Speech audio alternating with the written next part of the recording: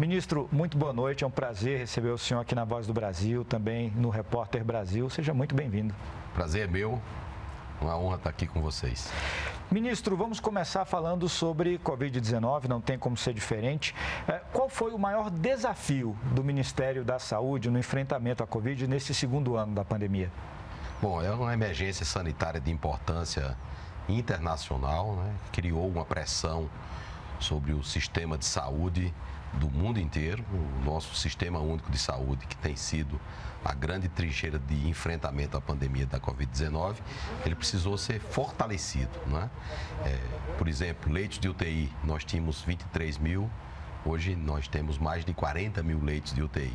Mas o desafio maior foi implementar uma das maiores campanhas de vacinação contra a Covid-19 no mundo. Né? Então, aquele descrédito inicial, vamos dizer assim, porque existia uma escassez de doses a nível mundial, deu lugar a uma das mais bem-sucedidas campanhas de vacinação contra a Covid-19 no mundo. E o resultado nós podemos sentir pela redução sustentada do número de casos. Né? Então, em seis meses, nós assistimos uma redução de 90% do número de casos e uma redução de 90% do número de óbitos. Hoje nós temos uma média móvel de óbitos nos últimos sete dias inferior a 130 casos.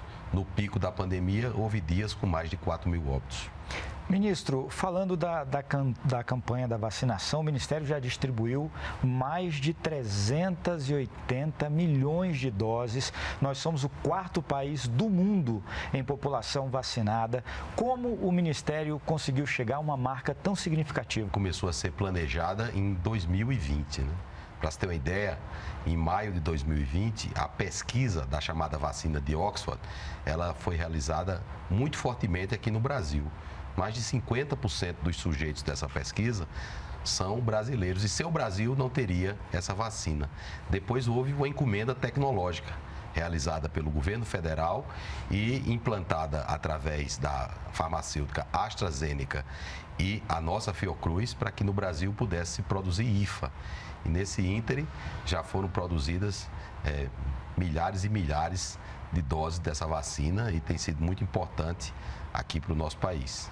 Agora, ministro, com todos esses números alcançados, com todas essas marcas, nós ainda temos mais de 20 milhões de pessoas que simplesmente não voltaram para concluir o ciclo vacinal, tomar a segunda dose. Como é que a gente resolve isso, ministro? Muito importante, né? Nós temos trabalhado né, para esclarecer aos brasileiros para que eles retornem às salas de vacinação, porque é, essa imunização ela só é completa quando nós temos as duas doses. E o Ministério da Saúde já está também é, provendo a dose de reforço. Né? Então, com a dose de reforço, aqueles que tomaram vacinas há mais de cinco meses, eles têm a sua capacidade de resposta no caso de uma variante ou de um novo surto de casos causados pelas variantes circulantes, nós temos condições de dar a resposta evitando casos e evitando hospitalizações e óbitos. Então, é fundamental retornar à sala de vacinação para tomar a segunda dose. E a maneira de fazer é através da conscientização das pessoas, é o que o Ministério da Saúde tem feito. Eu destacaria que um dos pontos fundamentais para o êxito da nossa campanha é que as pessoas são livres para procurar a sala de vacinação. Ministro, como o senhor disse, nós fechamos, o, já começamos o mês de dezembro com números positivos com relação à Covid, fechamos novembro com a, o menor índice de mortes registrados desde abril de 2020. O que esperar desse mês de dezembro agora, ministro? Então, nós estávamos nos planejando para a saída do cenário pandêmico. Eis que surge uma nova variante essa variante Ômicron, que foi inicialmente identificada é, na África do Sul.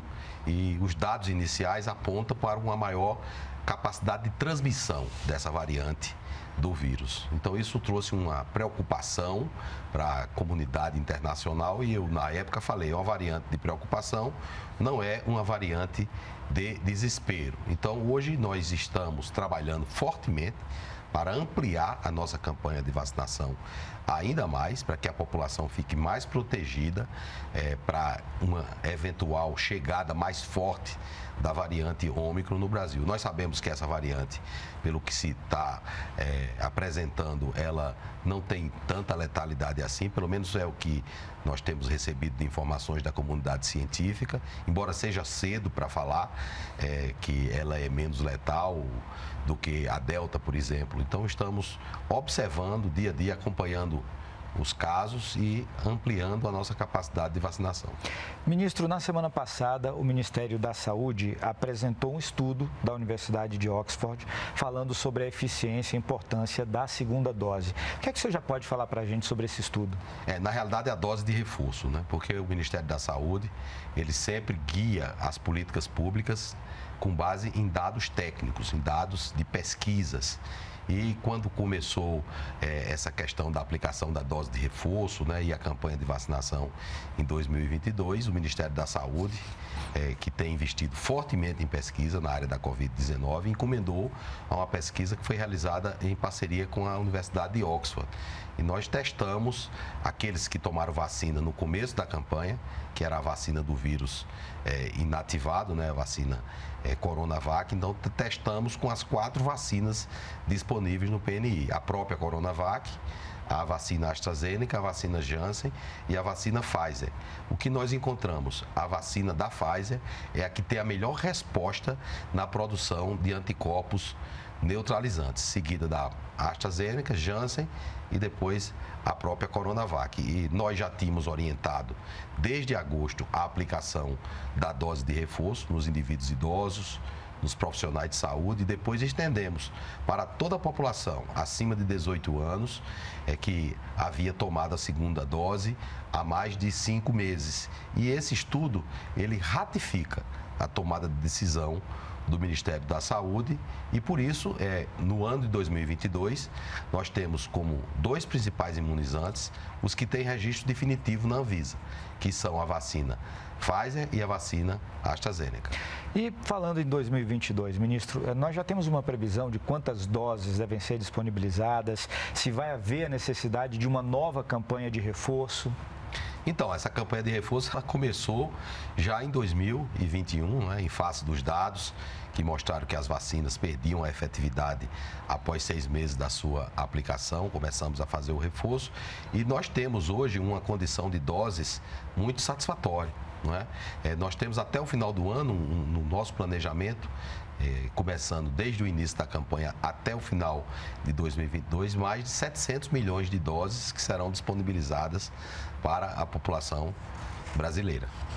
Ministro, continuando a falar sobre as campanhas do Ministério da Saúde, o Ministério lançou ah, uma portaria sobre o infarto agudo do miocárdio, né, que ainda é a doença que mais mata no Brasil. É, na realidade, as doenças cardiovasculares são as principais causas de óbito no mundo. Né? Estima-se que mais de 18 milhões de indivíduos morram de doenças cardiovasculares. No Brasil, nós temos mais de 380 mil óbitos por doenças cardiovasculares e as que mais matam são o infarto agudo do miocárdio e o AVC, né? O presidente Bolsonaro, aquela forma muito informal dele, ele me pergunta, ô Queiroga, as pessoas só morrem de Covid, deixaram de morrer do coração e de câncer?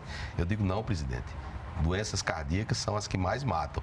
E por isso o Ministério da Saúde é, editou uma portaria é, ampliando é, a possibilidade do tratamento do infarto agudo do miocárdio, agora de uma maneira organizada, na fase pré-hospitalar. Aqueles que têm infarto 30% morre antes de chegar no hospital. Então, nós precisamos resolver e melhorar a assistência é, nesse, nessa fase pré-hospitalar.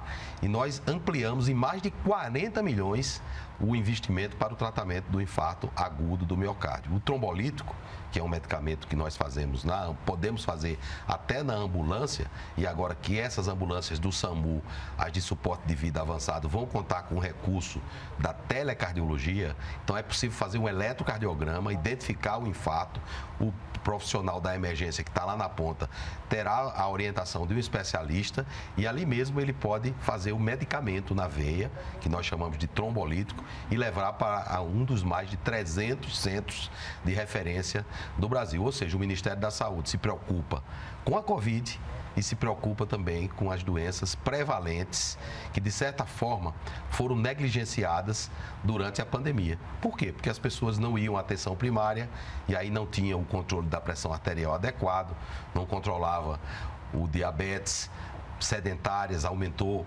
é, o tabagismo e qual é a consequência? Uma possível maior carga de doenças cardiovasculares. E aí o governo, com essa medida, é, coloca o tratamento do infarto é, no centro da moda para que nós possamos reduzir óbitos por infarto no Brasil, que aliás é uma atitude para todos.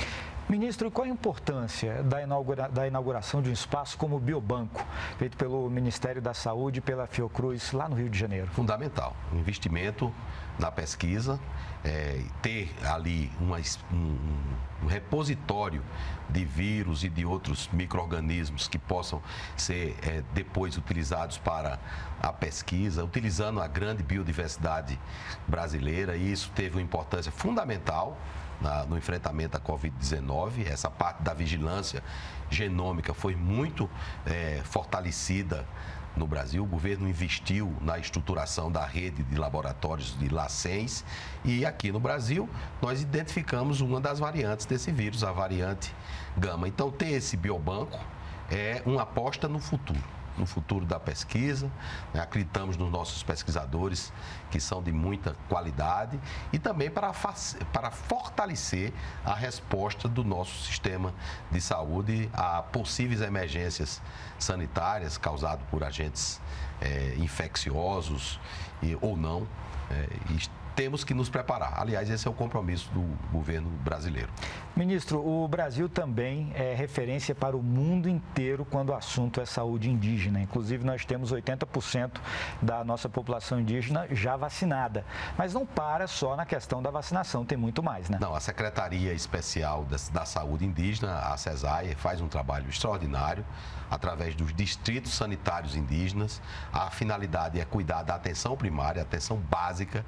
Nós temos as chamadas unidades básicas de saúde indígena. Nós temos uma estrutura das casas de saúde indígena que dão apoio aos indígenas que precisam de assistência especializada à saúde. O recurso da telesaúde, da saúde digital, já começa a ingressar fortemente. Eu mesmo já tive a oportunidade de visitar o Polo Leonardo, no Alto Xingu, Lá habitam mais de 40 etnias indígenas e que são cuidados com toda a atenção é, da CESAI e do Ministério da Saúde. E para o ano que vem tem novidade para os profissionais da saúde, os residentes médicos, um incremento de 23% nas bolsas pagas para esses profissionais. Um grande reconhecimento, né, ministro? É o nosso futuro, né? Os profissionais de saúde, não só os médicos, mas os, os outros profissionais de saúde são fundamentais. Durante a pandemia, mais uma vez se reafirmou a importância dos profissionais de saúde e nós precisamos cuidar da formação desses profissionais desde o início. Então, nesse sentido, o Ministério da Saúde atua de forma integrada com o Ministério da Educação, a nossa Secretaria SEGETS, né, Secretaria de Gestão do Trabalho, Educação e Saúde, trabalhou fortemente em conjunto com o MEC e hoje, além de aumentar o valor da bolsa, é, que hoje era cerca de R$ 4.100, é pouco, mas isso foi um grande esforço que já foi feito pelo governo diante das questões de restrição orçamentária é, que vivemos. Nós também é, vamos remunerar o preceptor. Então, pela primeira vez na história desse país, os preceptores começam a ser remunerados. Quando eu fiz residência, o médico que me ensinava, o meu supervisor, ele não recebia nada para isso. Fazia como parte até da no nossa tradição hipocrática, né? Mas hoje ele vai ter um incentivo, vai ter um estímulo, ele vai ser remunerado para formar a nova geração de médicos que o Brasil precisa. Estímulo também para a saúde básica, não é, ministro? Onde tudo começa lá na ponta, próximo às famílias. Com certeza. E aí o SUS dá um show, né? Atenção primária à saúde. O governo Bolsonaro priorizou a atenção primária desde o início. À época, a atenção primária era um departamento da Secretaria de Atenção à Saúde. Pois bem, o presidente Bolsonaro criou a Secretaria de Atenção Primária à Saúde. E o investimento, ele subiu de 17 bilhões hoje com mais de 20 bilhões de orçamento. Então é um orçamento que eh, nós queríamos que o orçamento fosse maior, né? Porque é na atenção primária que nós vamos fazer a revolução da saúde pública. São mais de 48 mil unidades básicas de saúde, mais de 53 mil equipes de saúde da família. É extraordinário. Eu mesmo já visitei as chamadas unidades básicas de saúde fluviais. UBS Fluvial, que atende às comunidades ribeirinha, no Alto Amazonas. Então, isso é um, um programa fantástico, né? e eu sou especialista em cardiologia intervencionista, que implanta estentes nas coronárias. Eu sempre digo que nós não vamos mudar a história da saúde pública brasileira com implantes de estentes, e sim reforçando a atenção primária à saúde, controlando o diabetes, controlando a obesidade, o sedentarismo, é, diminuindo o índice de tabagismo e controlando a hipertensão arterial. E que isso quem faz? A Unidade Básica de Saúde. Criamos o programa Previne, essas unidades elas serão remuneradas em função dos resultados que entregam. Hoje nós já monitoramos sete indicadores. Através do Conect SUS, mais de 80% das unidades básicas de saúde estão é, informatizadas e nós conseguimos, por exemplo, já ter mais de 80% dos brasileiros cadastrados nas unidades básicas de saúde. Brasileiros estes, ministro, que agora no fim de ano, Natal, Réveillon, férias, proximidade de carnaval, né, já estão programando as festas, já estão se, se organizando e aí fica aquela preocupação, aglomeração, voltamos a falar sobre Covid-19.